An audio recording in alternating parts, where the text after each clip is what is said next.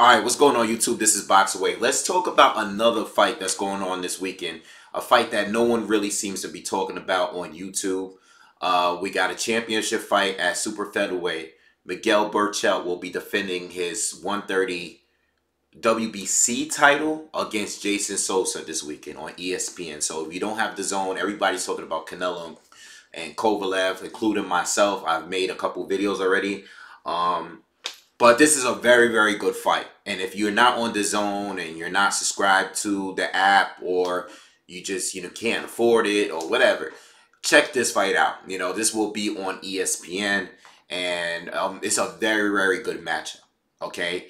Um, Miguel Berchelt has been holding it down at 130. I know everybody talks about Tank Davis, who was just there. Um, you know, everybody talks about him and Tevin Farmer, and everybody was talking about Lomachenko when he was down there. But this is a very, very good fight.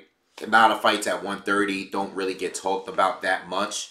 And this is a very good fight. So, listen, you know, I'm going to do a quick video on it. Um, the way I see it is, I think this fight is very intriguing because you have Miguel Berchelt, who's fought so many guys at 130, right? He's fought a lot of guys. He fought uh, Vargas twice. He's fought Francisco Vargas two times, all right? Beat him both times, all right? Um, he fought Miguel Roman. He's fought uh, Miura, you know, uh, Takashi Miura.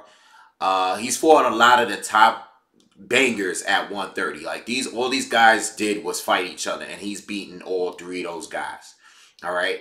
Um, and he's been holding it down. He's been he's the best champion at 130. He's the most proven champion at 130. You have other champs at 130, but this guy is the most proven at 130.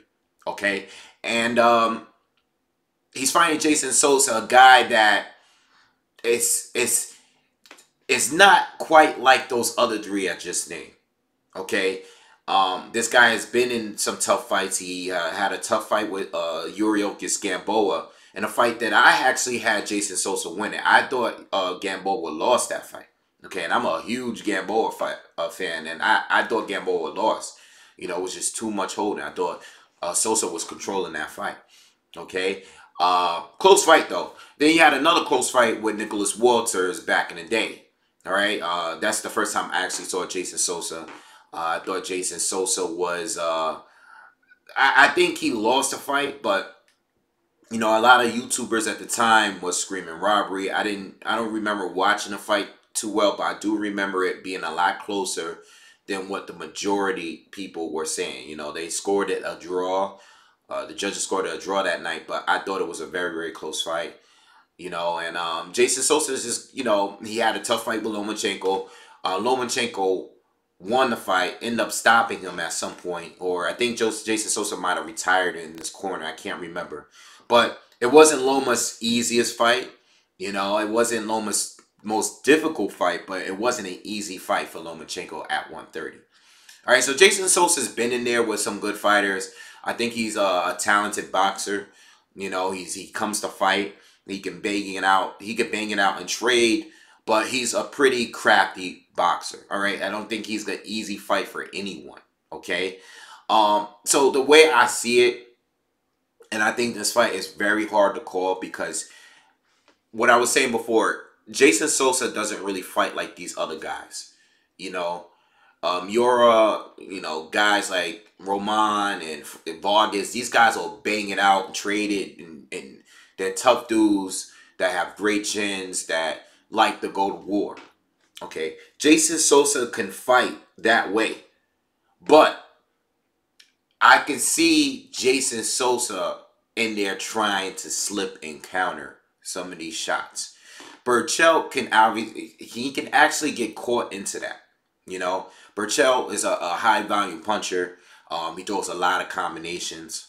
All right, but he can switch it up. He can adjust. He can use his legs and, and move laterally and fight on his back foot. Right, but he doesn't have the greatest defense. Okay, and I feel like I, I I'm picking Berchelt to win because of what he's done at 130. That's who I'm going with, you know. But don't be surprised if Jason Sosa catches him with a shot and actually ends up hurting him or in or end up winning possibly. You know, I mean, if it's gonna go to the cards, I'm picking Berchelt because I just think overall his body of work is a lot better than Jason Sosa's. And you know, I cause I've seen him watch. I've watched him fight 12 rounds and go full 12 rounds throwing hands. You know, nonstop. But I also seeing a possibility of Jason Sosa countering him with a, like a check, check left hook and hurting Berchelt and, and, and pulling off an upset. I wouldn't be surprised. All right, because Jason Sosa is not going to sit there and try to go to war. All right, he's going to use some defense and he's going to try to slip and counter. You know, that's what he's about. You know, he can hold his own and trade, but he's not going to sit there and go round by round by round trying to trade with Berchelt.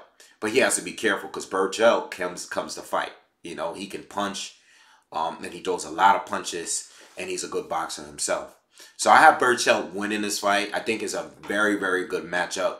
Um, so if you guys are not tuning in and watching, I don't know how I'm going to watch both fights because I will be live Saturday. I will be doing, um, I'll be on YouTube uh, analyzing the uh, Canelo card live. All right. Might even have my dad with me. So we'll see. But this is a great fight. And it's a shame that no one's really talking about it. But I get it. I am a YouTuber myself.